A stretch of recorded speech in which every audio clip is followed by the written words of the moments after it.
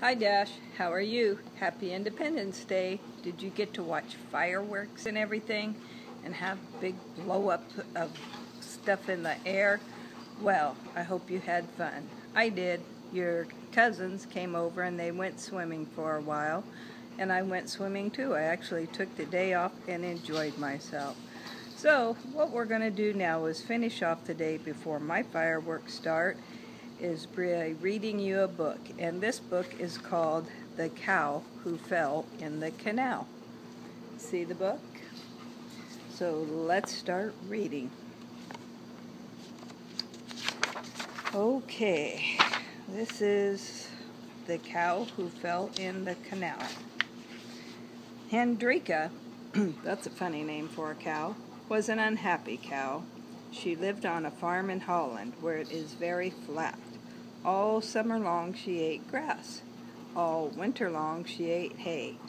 All winter and all summer she did nothing but eat. I bet she was a chubby cow. And she gave milk to Mr. Hofstra, the farmer. Mr. Hofstra thought she was a fine cow because she gave such white, creamy milk. Eat, eat, Hendrika, he would say. The more you eat, the more creamy white milk you can give me. Hendrika loved Mr. Hofstra, so she ate more to please him, but she was unhappy. These are the pictures. They're kind of boring pictures. They're black and white. Let's see, there you go. See the cow there, Hendrika? And there's Mr. Hofstra and the cow. Oh, here's some colored ones. In front of the pasture was a road. Every day, Peter the horse came with a wagon to take Hendrika's milk to the city. Peter told Hendrika about the city. The streets are made of cobblestone and the houses have staircases on their roofs. People ride bicycles, he said. Hendrika wanted to see the wonderful things Peter talked about. She was tired of looking at Mr. Hofstra's house, the barn, and the windmill. The windmill wore a little porch.